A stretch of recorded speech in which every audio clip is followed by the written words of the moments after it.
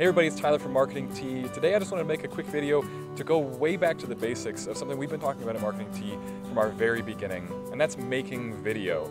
I think that a lot of the times there are so many elements of marketing that can uh, come in and confuse us and make us feel like this is more important than that, what should I be pursuing here, and they change all the time. But the thing that has never changed for us, that's always remained constant, is content, and specifically video content.